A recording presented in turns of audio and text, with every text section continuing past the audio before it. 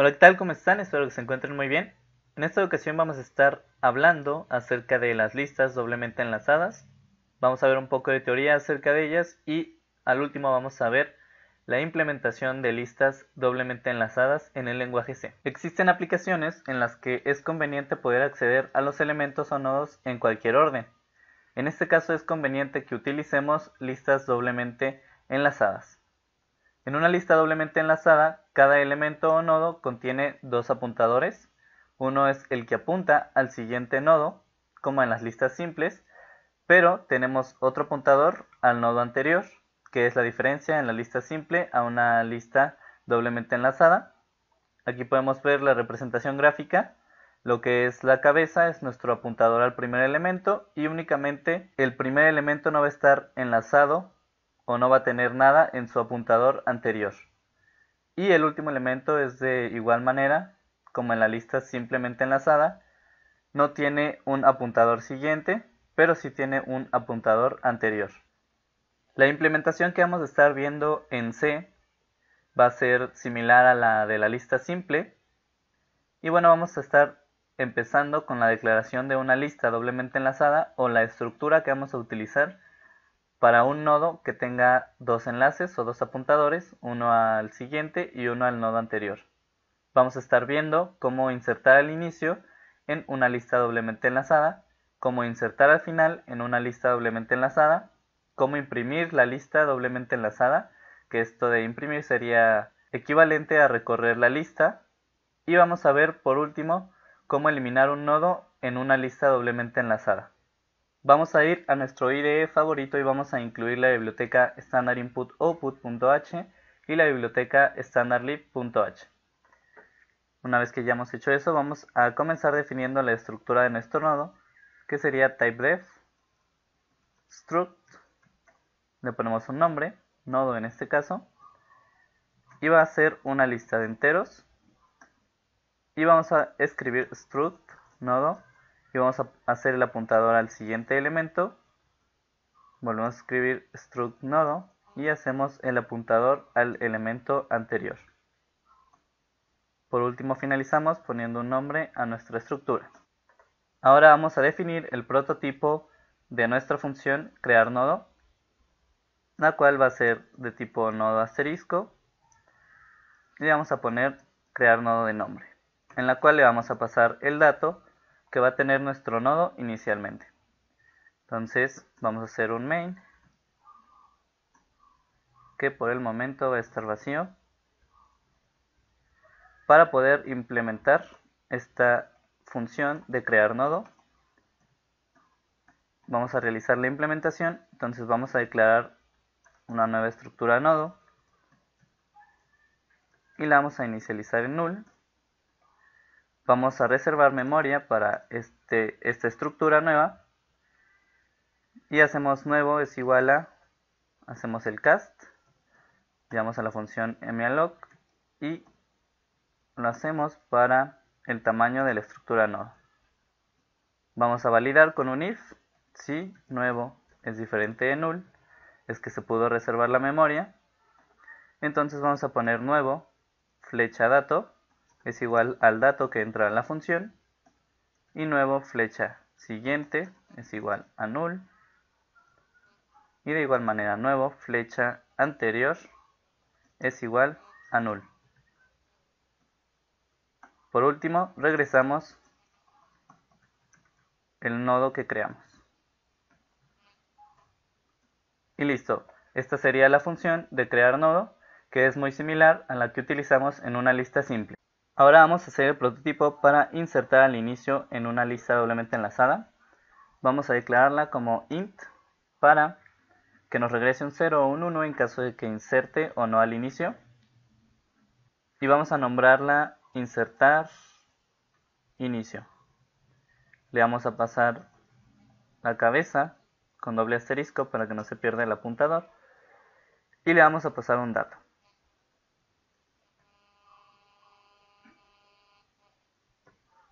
Vamos a copiarla y vamos a realizar la implementación. Así que comenzamos creando un nuevo nodo y lo inicializamos en null y ponemos nuevo es igual a crear nodo y le vamos a pasar el dato que nos pasaron en la función de insertar al inicio. Vamos a validar que el nuevo nodo se haya creado. Ponemos if nuevo es diferente de null. Si sí se creó, entonces vamos a poner nuevo flecha siguiente igual a la cabeza y nuevo flecha anterior igual a null, ya que el primer nodo, el anterior no apunta a la cabeza. Vamos a hacer una validación si la cabeza es diferente de null, quiere decir que la lista ya tiene un dato, entonces necesitamos ligar el dato que tiene al nuevo, al nuevo nodo que creamos. Entonces vamos a poner paréntesis, asterisco cabeza, flecha anterior es igual a nuevo y vamos a poner la cabeza igual al nuevo para que apunte a nuestro nuevo nodo que acabamos de crear. Si todo salió bien, regresamos un 1 para indicar que se pudo insertar y si no, regresamos un 0 para indicar que no se insertó al inicio en la lista doble. Ahora vamos a realizar la función para imprimir la lista para poder verificar que efectivamente se están insertando correctamente nuestros datos al inicio de nuestra lista. Entonces vamos a declararla con tipo void, ya que no nos va a regresar nada, y le ponemos como nombre imprimir lista. Y vamos a pasarle la cabeza con un solo asterisco, ya que únicamente vamos a consultar y no modificar. Ahora vamos a realizar la implementación y únicamente vamos a declarar una estructura nodo auxiliar y la vamos a apuntar a la cabeza. Esto para no perder el apuntador de la cabeza original y hacer el corrimiento por medio del auxiliar. Ponemos un while, mientras n auxiliar sea diferente de null, es que existe el dato, entonces si existe vamos a imprimir el dato del nodo.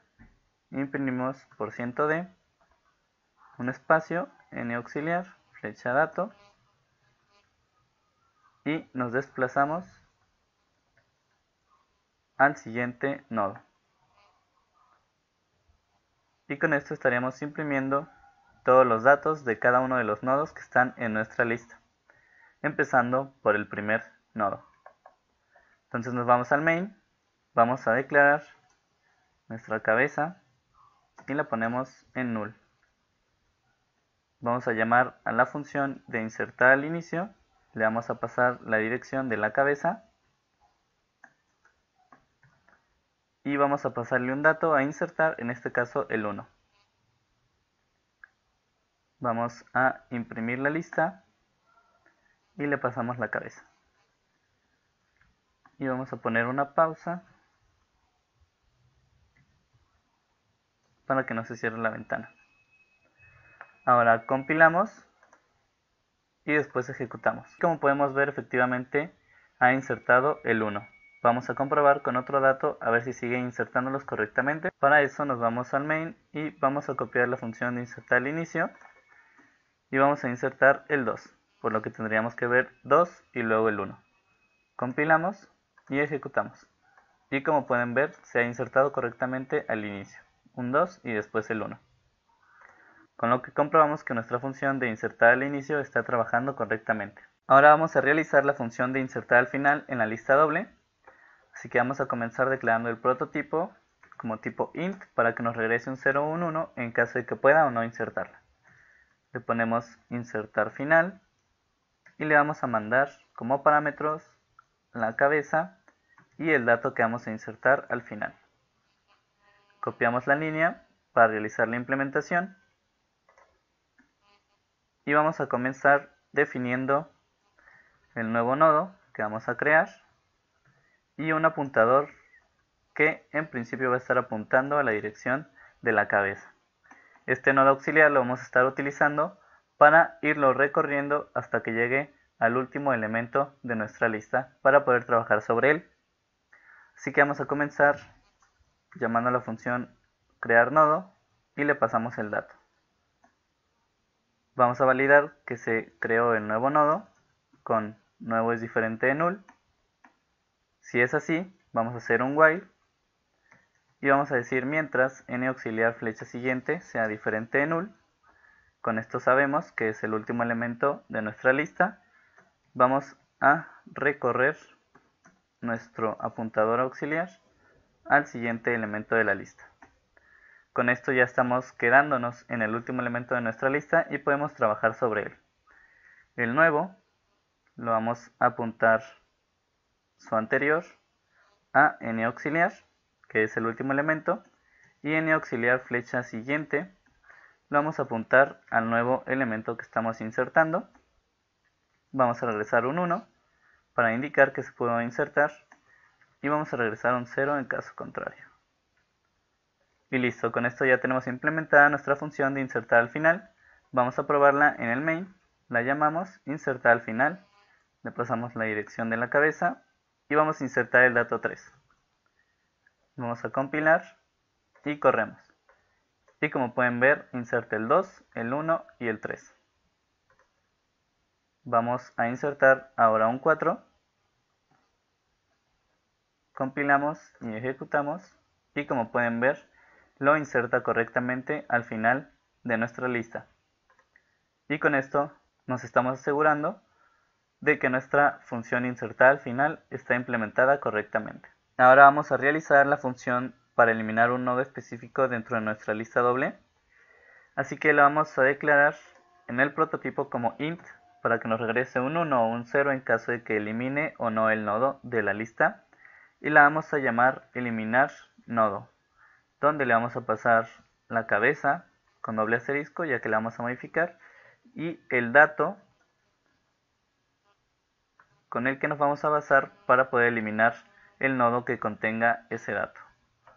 Así que copiamos nuestra línea y vamos a realizar la implementación. Así que primero que nada necesitamos crear tres apuntadores, uno al nodo actual, este lo vamos a apuntar a la cabeza creamos un apuntador anterior y ese lo vamos a apuntar a null y un nodo siguiente y lo vamos a apuntar a null también. Así que lo que vamos a hacer es un ciclo mientras actual sea diferente de null vamos a realizar la siguiente acción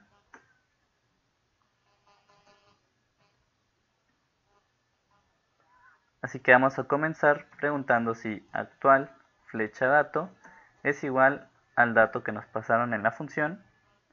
Eso quiere decir que ha encontrado el nodo que contiene dicho dato.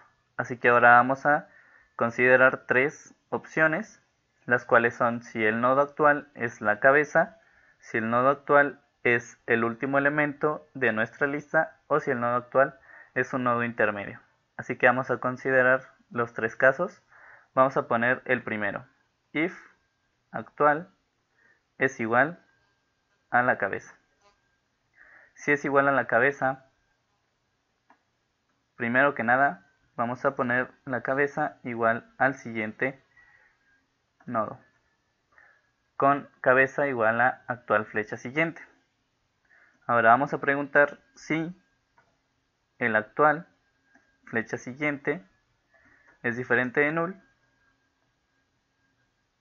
vamos a eliminar el enlace anterior que tiene nuestro nodo, poniendo actual, flecha siguiente, flecha anterior, es igual a null. Y con eso estamos considerando el primer caso que es cuando nuestro nodo es la cabeza.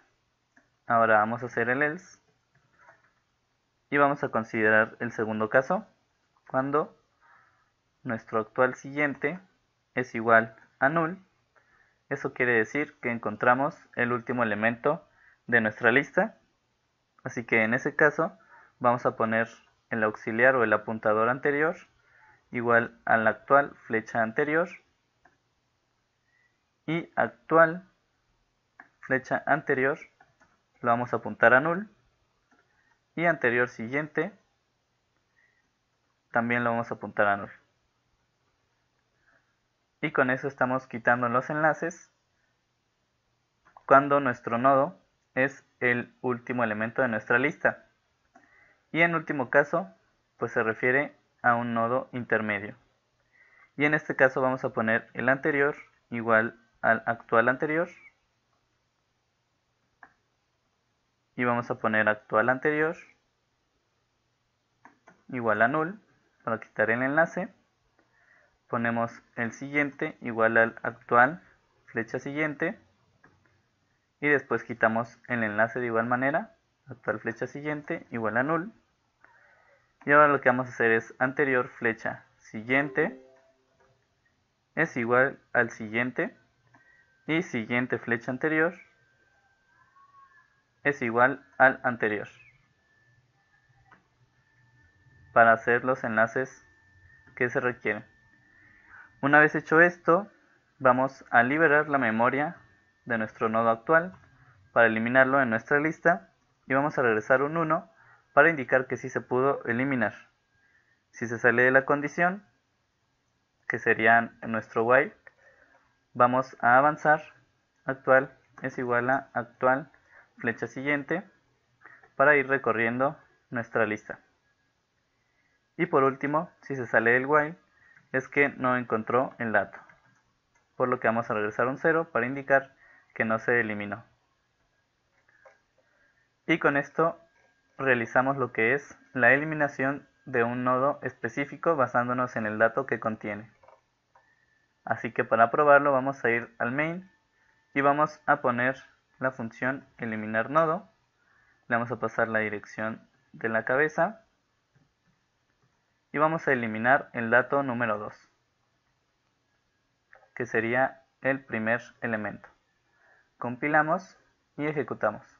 Y como pueden ver lo elimina correctamente y nos imprime 1, 3 y 4 que son los siguientes elementos. Ahora vamos a eliminar el 1 que sería un dato intermedio y como pueden ver imprime 2, 3 y 4. Y por último vamos a eliminar el último elemento que sería el 4. Compilamos, ejecutamos y como pueden ver lo realiza correctamente. Así que de esta forma comprobamos que nuestra función de eliminar nodo está correctamente implementada. Eso sería todo por este video, espero que les haya gustado y sobre todo les haya sido de mucha utilidad. Recuerda que si tienes cualquier duda, sugerencia o comentario lo puedes dejar en este mismo video. Si el video te gustó, te recomiendo que le des me gusta y que te suscribas a este canal para que no te pierdas ninguna de las actualizaciones de mis nuevos videos. Te voy a estar dejando también mi fanpage de Facebook y mi blog para que lo visites en la descripción de este video. Sin nada más que decir me despido y nos vemos hasta el siguiente.